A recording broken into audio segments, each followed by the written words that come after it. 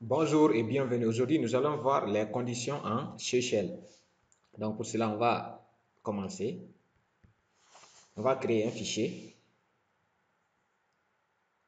Je vais agrandir le texte. Voilà. Donc, on fait un touch. J'appelle mon fichier euh, condition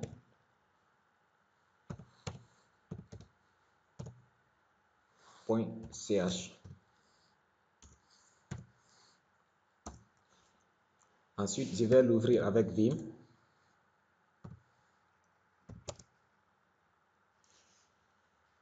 Condition.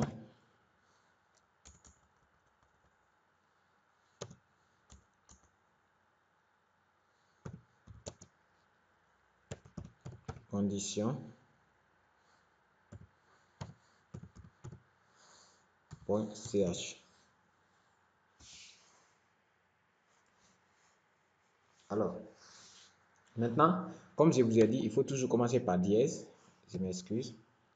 Mode insertion, dièse. Après, point d'exclamation, slash, bit, slash, bash. Pour dire qu'on va utiliser le script bash, le C, le bonus share, bonus again share. Donc, ensuite, on a dit en C pour faire des conditions, on commence par if. Vous voyez Ensuite, il y a une première manière de faire. On peut mettre crochet, puis condition.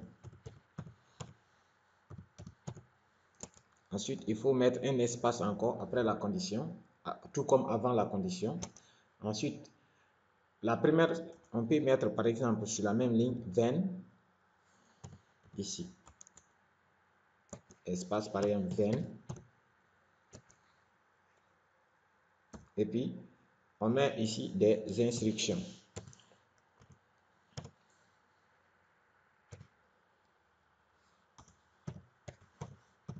on met nos instructions et ensuite on termine par FI sinon il y a une seconde manière aussi. On peut faire comme ça. Condition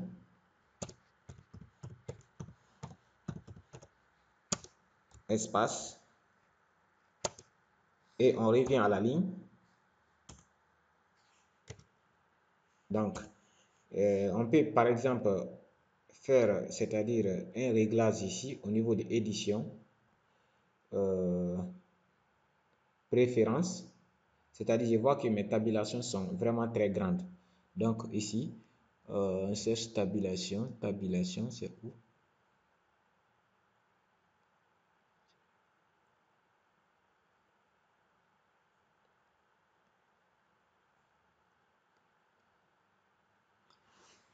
Je sais pas où on peut voir la tabulation.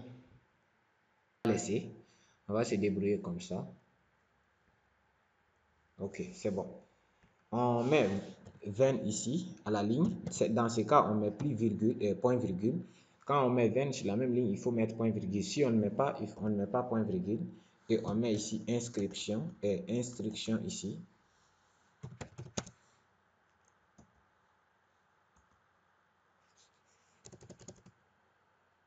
Alors, ici, on met les instructions.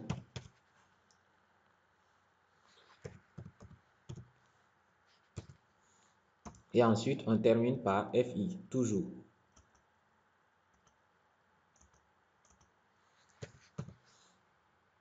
C'est-à-dire pour dire fin.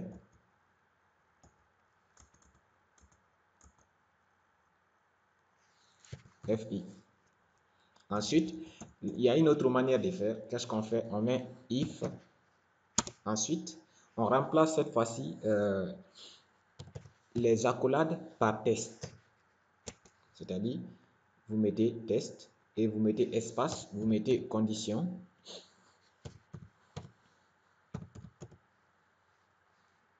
Ensuite, on met 20 et on peut mettre 20 à la ligne tout comme on peut faire comme on a fait de l'autre côté mais il faut remplacer par point virgule. Après 20 euh, c'est-à-dire après if et la condition. Donc ici encore on met instruction. Donc, je m'excuse, il n'y a pas point virgule.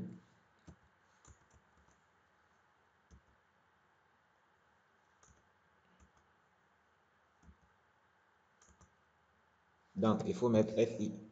Vous voyez maintenant? Donc, ici, par exemple, la première manière de faire, on va commencer, commencer par la première façon de faire.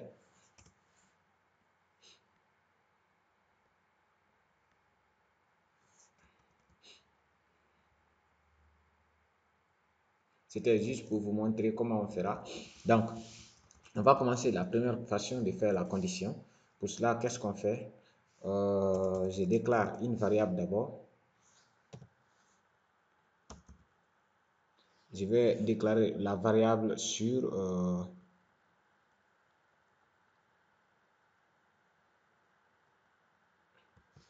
l'âge, par exemple.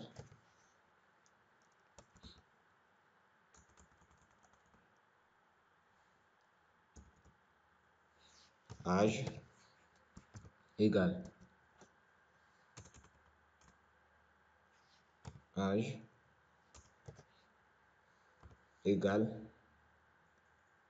25 par exemple. Je vais mettre euh, 38 ensuite je reviens je fais quoi? If crochet euh, accolade, crochet, oui. Euh, je mets maintenant dollar, comme je vous ai dit, pour utiliser une variable, il faut maintenant la précéder par ce signe, est égal. C'est-à-dire, euh, bon, en, en, en, pour faire une comparaison sur l'égalité, il faut mettre EQ, c'est-à-dire pour dire equals.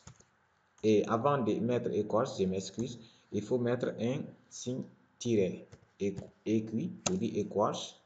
Euh, mais maintenant, euh, je ne vais pas faire sur l'égalité, je vais faire sur la supériorité. If l'âge est supérieur ou égal à 18, c'est-à-dire dans ce cas, il faut mettre le euh, greater than en anglais, c'est-à-dire supérieur à 18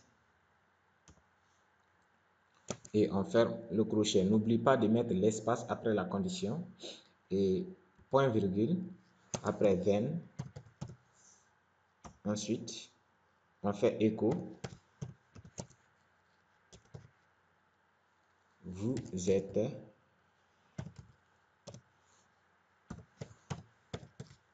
majeur. Maintenant, et pour faire un else, il faut faire la même chose, c'est-à-dire health, echo, vous êtes, pour déclarer une variable, c'est comme ça, vous êtes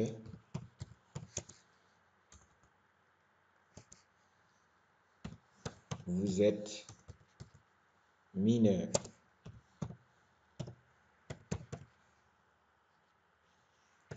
Oui.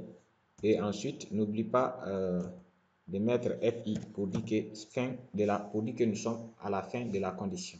Donc, on va revenir en mode interactif. Et on met X. Ensuite, nous sortons des, des scripts. Et avant d'exécuter le script, il faut, n'oublie pas surtout de le mettre en exécutable, de le rendre exécutable. sudo chmod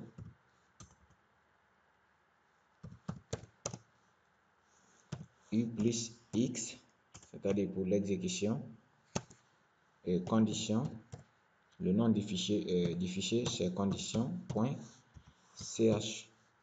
Ensuite, il faut taper entrée et il va nous demander le mot de passe. On va faire entrer. Ensuite, maintenant, je vais exécuter. Euh, condition .ch. Alors, comme vous voyez, il m'affiche majeur. Vous êtes majeur. Maintenant, si je reviens dans mon script, voilà, je donne, parce que là, c'est 38. Si je donne maintenant l'âge,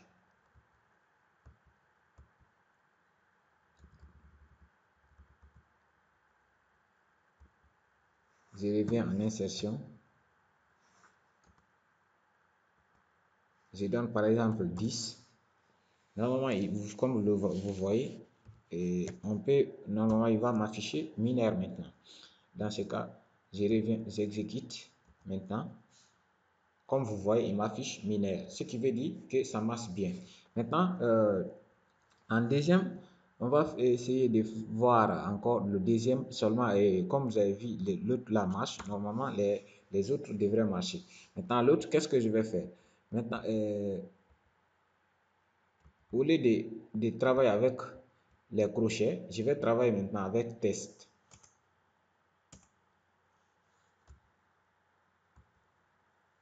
Pour cela, je reviens en insertion. Ensuite, je mets maintenant test. Et ensuite, j'efface l'autre là.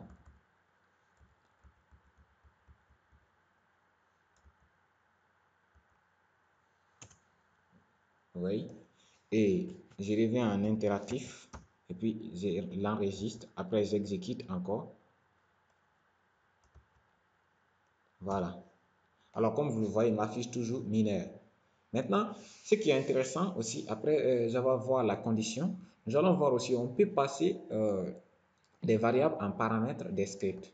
Pour cela, euh, il y a des variables qui existent, c'est-à-dire des $1 à $9. Vous voyez? Mais maintenant, nous, on va se servir par exemple de $1, par exemple. Ici, je rentre dans ma condition et je remplace maintenant ma variable je m'en fous de l'autre là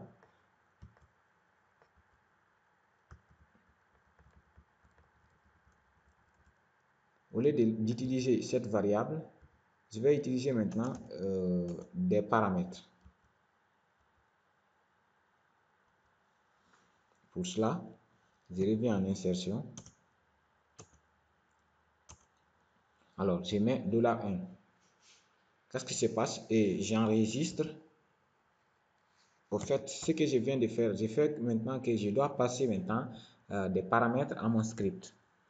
Vous voyez? Comment on passe le paramètre? Ici maintenant, je donne la variable. Par exemple, euh, je donne ici 40. Directement, il va m'afficher majeur. Vous voyez, il dit vous êtes majeur parce que j'ai passé un paramètre à mon script. Si je reviens à la partie précédente, voilà, à la condition, au lieu de 4, 40, je mets 4 simplement. Normalement, je suis mineur, il va, vous voyez, il m'affiche, vous êtes mineur. Donc, avec ça, on peut passer réellement beaucoup de choses.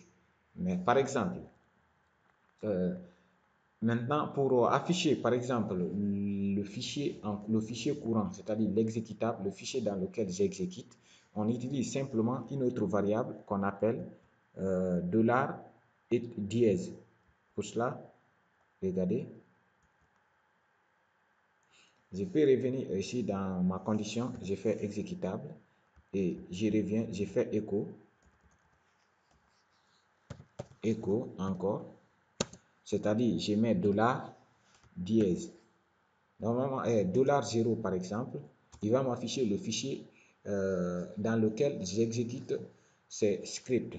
Donc pour cela, je fais X, je sors. Maintenant, si j'exécute cette fois-ci, je donne par exemple 18. Vous voyez Je donne 18 et j'exécute. Comme vous voyez déjà, il m'affiche vous êtes majeur parce que j'ai suivi 18. Et ensuite, euh, en bas, il m'affiche euh, slash condition parce que euh, j'ai mis écho dollar 0. Vous voyez? Maintenant, pour afficher le nombre de paramètres que j'ai saisi, par exemple, je peux utiliser maintenant dièse. Par exemple,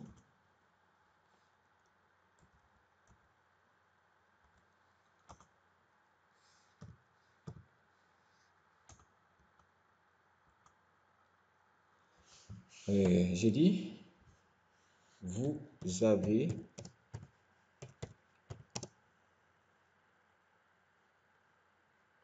Voilà, j'ai saisi dollar dièse, c'est-à-dire le nombre de paramètres ici. Et c'est bon. Maintenant, qu'est-ce que je, qu'est-ce qui se passe? Je vais enregistrer maintenant. C'est-à-dire, dollar dièse veut dire que affiche le nombre de paramètres que je vais passer à mon fichier. Maintenant, je vais euh, libérer ici. Voilà. Je vais exécuter. Comme vous voyez, j'ai passé un seul paramètre pour le moment. Vous voyez, il m'affiche, vous avez un. Maintenant, euh, si je reviens pour faire un peu joli,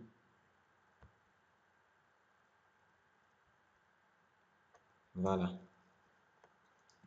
Euh, je vais ajouter paramètres. J'ai fait quoi?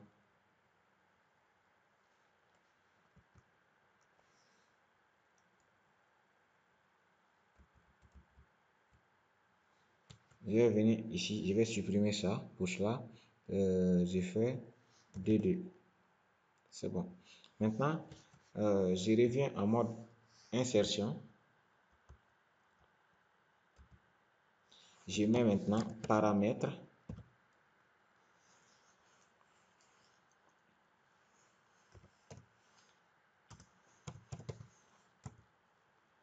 Voilà. Et j'enregistre. Je libère. Maintenant, si je reviens, voilà, je, passe par exemple deuxième paramètre. Pour passer le nombre de paramètres, on peut, dans les scripts cell, on peut passer jusqu'à 9 par exemple. Je mets 10, je mets moins 1, je mets 2, je mets 3, au fait 1, 2, 3, 4, 5, 1, 2, 3, 4, 5, et 6, 7, 8.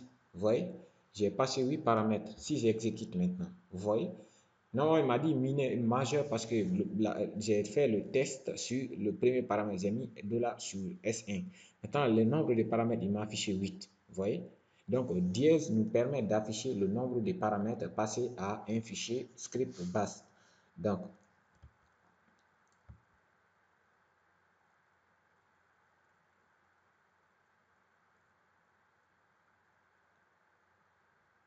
Donc, pour afficher encore ces paramètres, je vais faire quoi en bas? Ici, j'ai fait insertion. Ensuite, j'ai fait écho. Et j'affiche ces paramètres. Ces paramètres, je vais dire par exemple, ces paramètres sont. Ces paramètres sont c'est-à-dire les paramètres saisis sont. C'est ce que je veux dire simplement. Il suffit de mettre dièse étoile. Comme ça, il va m'afficher le nombre de paramètres que j'ai saisi. Donc, pour cela, j'enregistre, j'ai fait X pour quitter. Et ensuite, je vais exécuter par exemple. Voilà, comme vous le voyez, il m'a affiché en bas, vous avez 8 paramètres et ces paramètres sont on a déjà. Donc, étoile, c'est pour afficher le nombre de paramètres. Voyez? Et ensuite,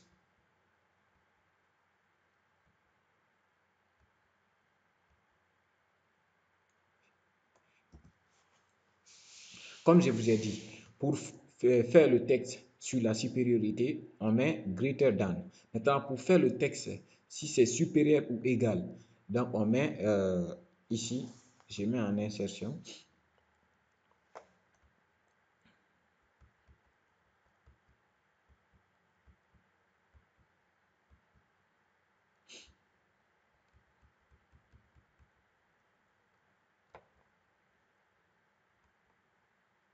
Au fait, on doit mettre euh, supérieur ou égal. Donc, tu mets GE, c'est-à-dire euh, greater and equals.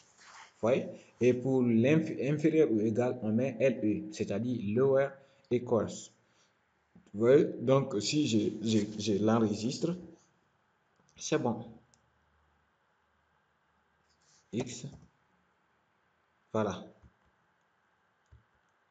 Et maintenant, j'ai fait le texte toujours sur 18. Euh, parce que l'autre, il m'affichait mineur. Parce que tout simplement, j'avais fait supérieur à 18. Alors maintenant, il doit m'afficher majeur parce que j'ai mis supérieur ou égal.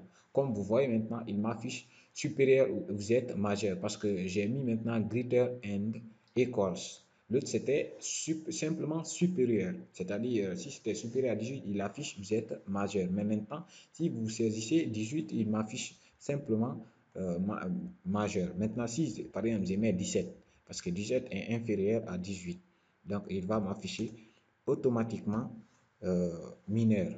Si j'exécute, comme vous le voyez, il m'affiche automatiquement vous êtes mineur. Donc, c'est ce qu'il fallait comprendre dans les conditions. Ici, euh, on le met à écrit. Par exemple, si je reviens dans le script base, voilà, ici, je mets écrit, je remets en insertion. écrit, il faut toujours précéder par le tiret, ensuite écrit. Si c'est égal à 18, on le met. Sinon, dans tous les autres cas, il va afficher mineur. Ce n'est pas logique, mais juste j'ai fait pour vous faire comprendre les opérateurs. Il existe écrit, c'est-à-dire, je vais faire un commentaire ici. Écrit.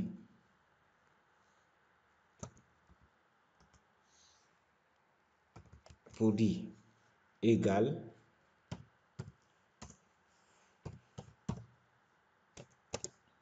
Après, euh, LT dire inférieur à, c'est-à-dire que c'est égal à inférieur, inférieur à et euh, quoi d'autre? Hmm, GT pour dire supérieur. GT pour dire supérieur supérieur à ensuite euh, LE pour dire inférieur inférieur ou égal inférieur ou égale à.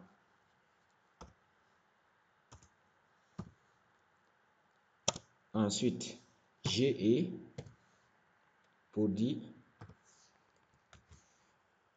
supérieur ou égal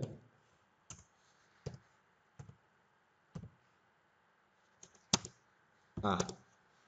Donc, alors, tout ce qu'on vient de voir, c'est-à-dire ces opérateurs, ce sont des opérateurs sur des valeurs numériques. Donc, on va voir encore un exemple juste pour faire sur des valeurs non numériques, par exemple les chaînes. Ici, qu'est-ce que je fais Je vais libérer ici d'abord mon terminal. Alors, et puis je vais ouvrir mon fichier condition.ch. Voilà. Ici,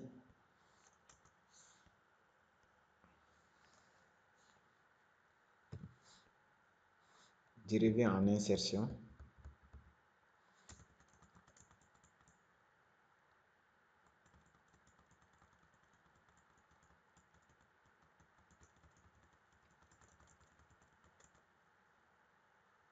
J'ai saisi par exemple une variable non? Et dans nom, j'ai mis par exemple Amara. Et ensuite, Qu'est-ce que je vais faire? Je dis si le nom est égal. Ici, on fait l'égalité ainsi. Amara, par exemple. Je vais simplement faire un ven Echo. Bonjour.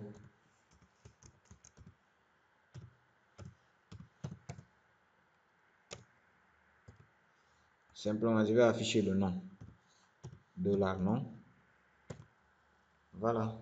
Et ensuite, je termine par FI.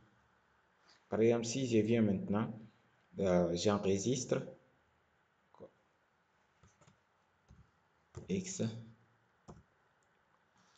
Voilà, si, j'exécute maintenant mon fichier, voilà. Comme vous le voyez, il m'affiche bonjour Amara. Donc, sur des valeurs non euh, numériques, on utilise égal, supérieur, et même les valeurs, l'autre valeur, on peut être utilisé supérieur aussi. On peut utiliser différents des autres opérateurs. Donc, c'est juste vous donner une directive comment faire ces conditions. Donc, arrivé là, je vous remercie pour votre patience. Et le coup prochain, nous allons voir également les boucles.